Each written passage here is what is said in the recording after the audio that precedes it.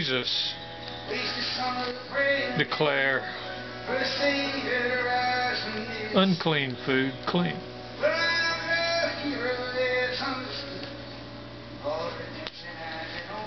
Question in Mark chapter 7.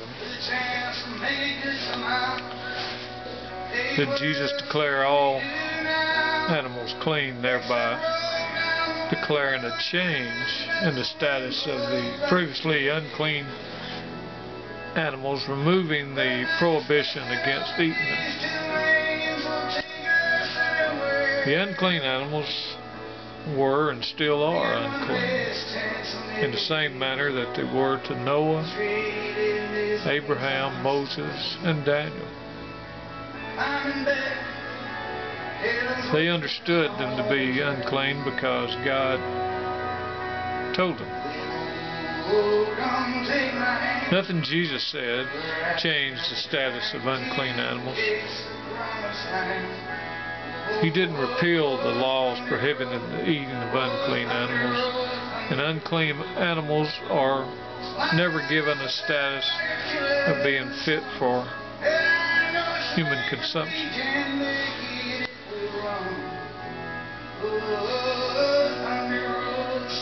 So you asked if if unclean animals are now fit to be eaten, sacrificed. No. Never were they fit to be eaten. Never were they fit to be sacrifices. Nothing Jesus said uh, changed that.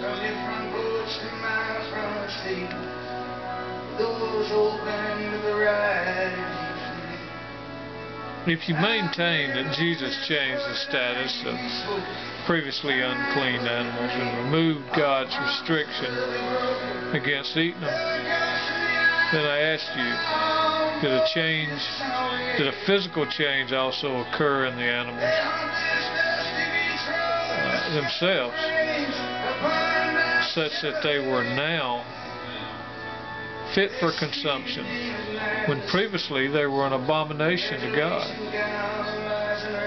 The unclean animals didn't change in any respect as a result of Jesus' teachings.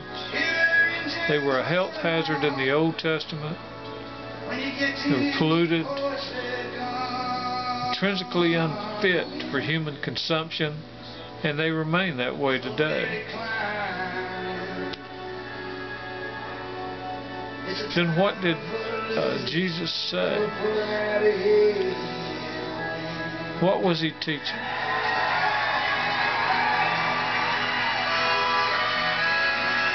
Did Jesus conclude that the biblically un unclean food was now clean?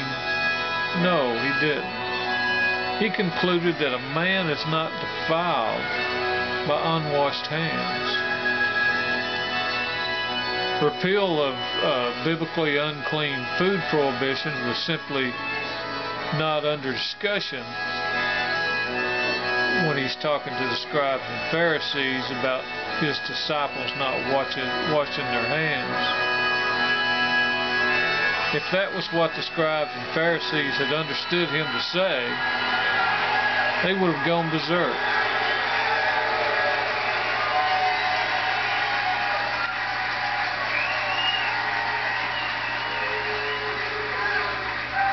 If they uh, thought Jesus was changing God's dietary restriction laws. Uh, it had been such a condemnation of Jesus, and they would have charged him with heresy in abandoning in abandoning God's restrictions. But they never did this because Jesus never did say or imply any such thing. So according to Jesus, does food defile a man? No. Uh, not in the sense Jesus was speaking about. In the context of Jesus' teaching, uh, what he meant by the by defile was uh, was the scribes and the Pharisees were uh, condemning the disciples for not washing their hands, implying that they were therefore defiled or unclean. And because Jesus' disciples didn't follow the traditions of the elders, the scribes and Pharisees raising Cain, Jesus replied by rebuking the scribes and Pharisees, saying that nothing a man puts into his mouth defiles his heart. Defilement, uh, Jesus defines defilement as evil thoughts and murder and adulteries, fornications, thefts, and false witness, and blasphemy. The scribes and Pharisees uh, were talking about one thing, and Jesus was talking about a totally different thing. Scribes and Pharisees were concerned with the cleanliness of the hands, and Jesus was concerned with the cleanliness of the heart. Jesus was saying that nothing a man uh, can eat results in an unclean, sinful heart. Rather, what a man says and does reveals the state of his heart. There's no direct cause and effect between any food and evil thoughts, such as, I mean, murders, adulteries, fornications, thefts, false witness, blasphemy. So, neither does unwashed hands produce these things. Yet, Jesus was not saying that the biblically unclean foods were now changed and now healthy to eat nor was he removing any biblical uh, prohibitions against eating. They were still polluted, contaminated, and foul, hazardous to your health, and they still are today.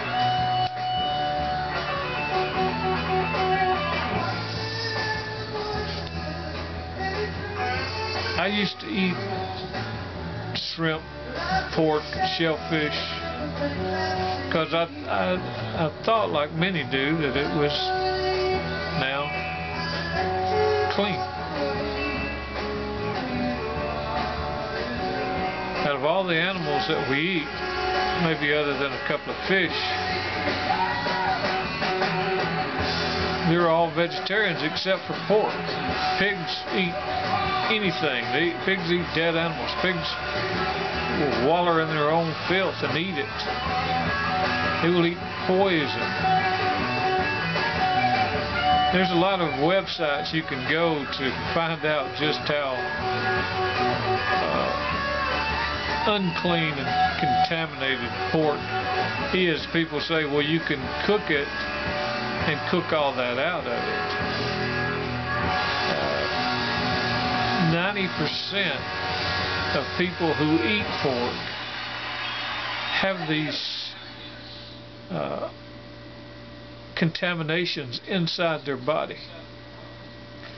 You can cook and kill these worms that are in pork, but you can't kill the eggs.